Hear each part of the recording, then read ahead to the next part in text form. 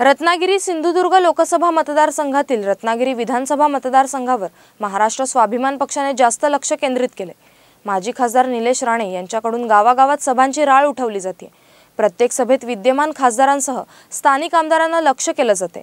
घणाघाती आरोप होत असताना शिवसेनेने मात्र थंड भूमिका घेतल्याने ही वादळापूर्वीची शांतता असल्याची चर्चा रत्नागिरीत पाहायला मिळते रत्नागिरीमध्ये शिवसेनेकडून प्रत्यारोपापेक्षा आमदार खासदारांकडून गावागावात विकास कामांचे नारळ फोडून लोकांमध्ये विश्वास निर्माण करण्याचा प्रयत्न केला जातोय. लोकसभा निवडणुकांचे पडघम सगळीकडे वाजू लागलेत रत्नागिरी सिंधुदुर्ग मतदारसंघात शिवसेनेचा वरचष्मा आहे. यामध्ये सेनेचे पाच तर स्वाभिमानचा एक आमदार आहे. येथून लोकसभेला शिवसेनेकडून खासदार विनायक राऊत निश्चित आहेत. मात्र भाजपबरोबर युतीचा निर्णय प्रलंबित आहे. काँग्रेस आघाडीच्या जागा वाटपात हा मतदारसंघ काँग्रेसकडे राहील अशी शक्यता आहे. राष्ट्रवादीनेही या मतदारसंघावर दावा केलाय.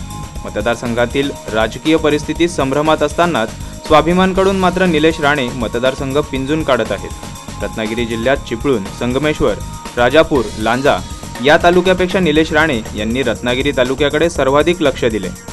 गेल्या काही दिवसात निलेश राणे यांनी विविध ठिकाणी सभा घेऊन शिवसेनेवर हल्ला चढवलाय. परंतु निलेश राणेंच्या टीकेला उत्तर देण्यापेक्षा शिवसेना नेते शांत राहणे पसंत करीत आहेत. आरोपांवर उत्तर देण्यापेक्षा शिवसेना विकास कामांवर लक्ष केंद्रित करीत आहे. राणेंच्या आरोपांवर जनताच उत्तर देईल असा विश्वास सर्वसामान्य शिवसैनिकांना वाटतोय. त्यामुळे राणेंच्या या आरोपांवर शिवसेनेचे नेते गप्प असून ही वादळापूर्वीची शांतता असल्याची चर्चा रत्नागिरीत पाहायला मिळते. ब्युरो रिपोर्ट रायगड माझा.